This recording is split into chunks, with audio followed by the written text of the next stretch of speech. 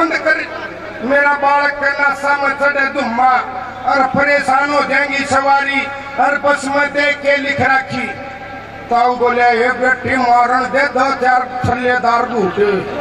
نو بولی نہ تاؤں بس میں دیکھ کے لکھ رکھی کہ بس میں دھمر پان کرنا منع ہے لے بیٹی بودا دی بیڑی تاؤں نے تھوڑی ہی دیر میں اس کا بھی وہ بالک ٹٹان لگیا رون لگیا ڈیاں ڈیاں ڈیاں وہ ایک دنی کہنے لگی جی نے دودھ پلا دو وانو بلی نپل بھولے آئی خود کا پلا دو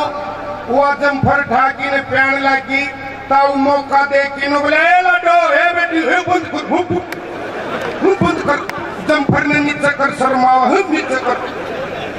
انہوں بولی تاؤ جی لڑکا رو رہا ہے، دودھ پلا رہی ہوں۔ انہوں بولا نہ بیٹی، نہ لڈو دیکھ، بس میں کے لکھ رکھی کہ شریر کا کوئی انگ باہر نہ نکالے۔